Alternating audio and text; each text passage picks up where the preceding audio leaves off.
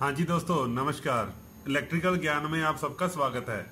इससे पहले हमने सीरीज़ पैरेलल सर्किट कुछ देखे थे जो कि सिंपल थे, बिल्कुल।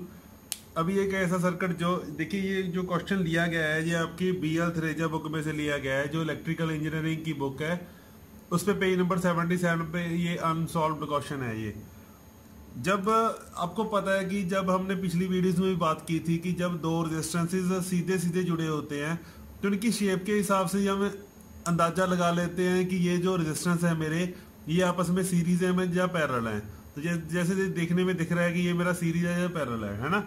कई बार क्या होता है कि वो क्या करता है एग्जामिनर कि अपने तरफ़ से ना वो शेप कुछ इस तरीके से बना देता है कि मेरे आसानी से देखने में ना तो वो सीरीज़ लगता है, ना वो पैरल लगता है। तो उसको करने के लिए वही, देखो मेथड वही होगा। जैसे ये इन्होंने क्वेश्चन दिया गया है, देखिए ये जो जहाँ पे देखो ये 12 चार 12 और रेजिस्टेंस ये आपस में कैसे जुड़े हैं? इनके बारे में थोड़ी सी बात कर लेते हैं।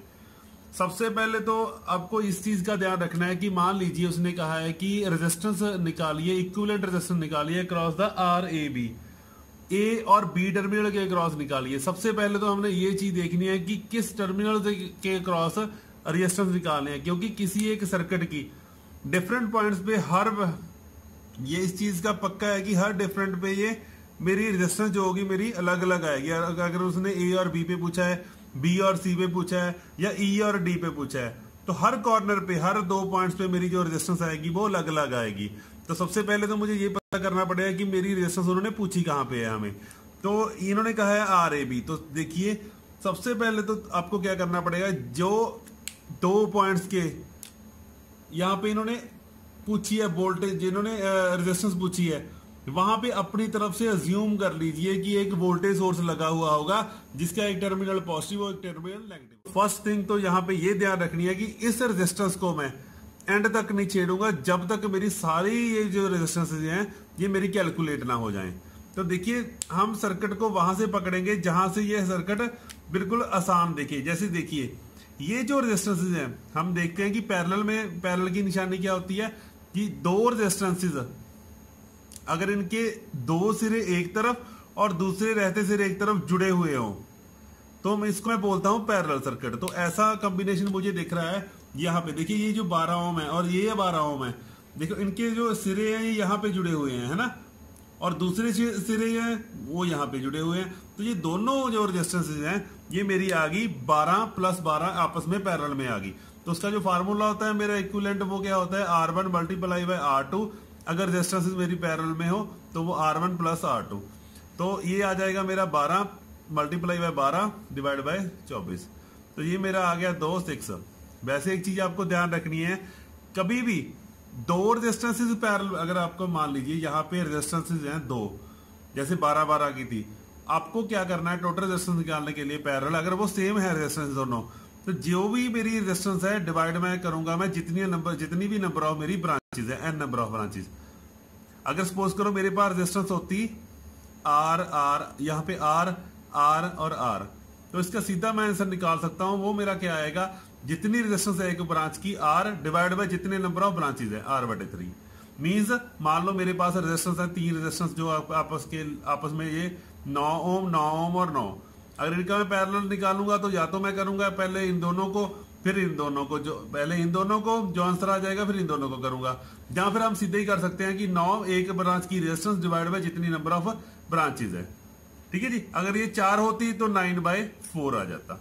ठीक है? तो ये चीज़ भी हमें याद करनी है, ताकि हमारा कंसेप्ट थोड़ा सा आसानी से समझ आए और जल्दी मेरा क्वेश्चन सॉल्व हो जाए एग्जामिनेशन में। तो यहाँ पे मेरे पास आ गई छह ओम की रेजिस्टेंस तो देखिए, इन दो पॉइंट्स को इन दोनों पे, अगर इन दोनों को मैं डिलीट कर दूँ, इन दोनों की जगह पे सिर्फ़ और सिर्फ़ एक रजिस्टेंस आ गई, मेरी नई रजिस्टेंस जिसका रजिस्टेंस है मेरा छह ओम अब देखो ओम के बाद। छह ओम के बाद अभी ये दोनों, देखो ये दोनों, इसके दोनों सिरे यहाँ पे जुड़े हैं और इसके दोनों सिरे यहाँ पे जुड़े हैं। तो ये 12 और 12 ये भी मेरा छह आ गया। तो इन दोनों की जगह पे मैं यहाँ पे लिख सकता हूँ ओम तो यहाँ तक तो मेरा सर्किट बन गया। अभी देखो आगे क्या कर रहे हैं हमें। आगे देखो, ये और ये ये 12 और ये 6 ये 12 और ये 6 ये आपस में पैरल में है। तो मेरे पास इन दोनों को मैं करूँगा बारह और छह। देखियो, क्योंकि यहाँ पे इसके दोनों सिरे आपस में जुड़े हैं और बाकी रहते सिरे भी आपस में जुड़े हुए हैं। तो ये तो ये मेरा आ गया बारह। Multiply by six divide by बारह प्लस सिक्स तो ये मेरा आ गया नीचे आ गया मेरा अठारह तो ये आ गया थ्री तो ये आगे आ जाएगा फोर ओम तो ये मेरी रेजिस्टेंस इन दोनों की रेजिस्टेंस आ गई मेरी फोर ओम तो मैं इन दोनों की जगह पे, इनको मैं डिलीट करके क्या क्या लिख सकता हूँ यहाँ पे? फोर ओम रेजिस्टेंस जैसे इस तरफ़ फोर ओम आई है, मेरी इस तरफ़ भी फोर ओम ही आएगी। दोनों को डिलीट करके मैं क्या लिख सकता हूँ यहाँ पे? Four ohm. तो देखिए, अब मेरा सर्किट आसान हो गया। अब ये फोर ओम और ये फोर ओम आपस में क्या है? देखिए, सीधे जुड़े हुए हैं। तो ये मेरा आ गया टोटल। इन दोनों को सीरीज़ में मैं जोड़ करूँगा। जोड़ जब करूँगा, ये मेरा आ गया टोटल आठ ओम की रेजिस्टेंस आ गई। अगर ये आठ ओम की रेजिस्टेंस आ गई सीरीज़ में तो इन दोनों की जगह पे मैं बना लूँगा आठ ओम। तो आठ ओम के जो पैरल में अभी देखो, ये पैरल में है, क्योंकि ये दोनों यहाँ पे जुड़े हुए हैं, ये दोनों यहाँ पे। और आठ और आठ, आपको वही बताया था कि टोटल रेजिस्टेंस डिवाइड बाय किसी एक ब्रांच की रेजिस्टेंस डिवाइड बाय दोनों, जितनी भी नंबर ऑफ़ ब्रांचेज है मेरी।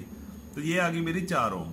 तो इसका आंसर आ गया मेरा यहाँ तक। यहाँ तक मेरा आंसर आ गया, चार ओम की रेजिस्टेंस आ गई। ठीक है जी? चार ओम। अभी देखना है ए और बी ठीक है? अगर आपने ये वोल्टेज सोर्स ना माना होता तो देखिए, ये आपको सीरीज़ में दिख सकता था। बट अभी वोल्टेज सोर्स माना हो, देखो तो ये टर्मिनल और ये टर्मिनल दोनों जुड़े हुए हैं। ये टर्मिनल और ये टर्मिनल दोनों जुड़े हैं। तो ये आ गया मेरा दो की रेजिस्टेंस आ गई मेरी दोनों, क्योंकि ये दोनों आपस में पैरल में जुड़े हुए हैं। ठीक है जी? ये सर्किट था। इसके बाद एक दो सर्किट और सॉल्व करने के बाद मैं अगला जो टॉपिक लेके आ रहा हूँ, आपके लिए वो मैं लेके आ रहा हूँ केवीएल और केसीएल क्योंकि रेजिस्टेंस केसीएल ये दोनों एक ब्रह्म सूत्र है मेरे इलेक्ट्रिकल इंजीनियरिंग के किसी भी सर्किट को सॉल्व करने के लिए। तो, तो अगर आपका भी कोई क्वेश्चन हो जो आपसे ना सॉल्व हो रहा हो अभी तक जितना भी हमने टॉपिक किया है तो प्लीज़ मुझे ज़रूर सेंड कीजिएगा। मैं कोशिश करूँगा कि आपके उस क्वेश्चन का हल निकाल के जल्दी से जल्दी आप तक पहुँचा सकूँ। ठीक है जी? थैंक यू वेरी मच मेरी अगली वीडियोस देखने के लिए मेरे इस चैनल को सब्सक्राइब ज़रूर कीजिएगा। Thank you very much